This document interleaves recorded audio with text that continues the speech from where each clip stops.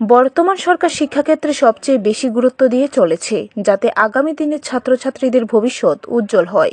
বৃহস্পতিবার আগরতলা পুর নিগমের আট নম্বর ওয়ার্ডের নোয়াগাঁও কৃষ্ণনগর উচ্চতর মাধ্যমিক বিদ্যালয়ের আনুষ্ঠানিক সূচনা করেন বিধায়ক তথা মেয়র দীপক মজুমদার। এই কথা বলেন। তিনি বলেন, আগে এই নোয়াগাঁও কৃষ্ণনগর বিদ্যালয় মাধ্যমিক স্তর পর্যন্ত ছিল।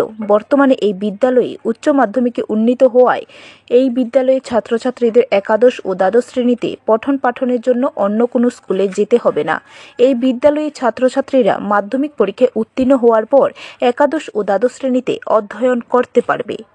খুশি এবং আনন্দের দিন এই এলাকার, বিশেষ করে আট আগরতলা নিগমের আট নম্বর ওয়ার্ডে অন্তর্গত বাসিন্দাদের ক্ষেত্রে বা ছাত্রছাত্রীদের ক্ষেত্রে। আমাদের শিক্ষা দপ্তরের, আমাদের রাজ্য শিক্ষা দপ্তরের কল্যাণে বলব যে এটা নোয়াগাঁও স্কুল ক্লাস টেন ছিল, এটা টুয়েলভ হয়েছে, দ্বাদশ শ্রেণি পর্যন্ত হয়েছে।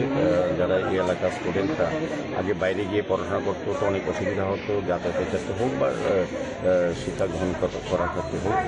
ব্যুরো রিপোর্ট খবর ত্রিপুরা।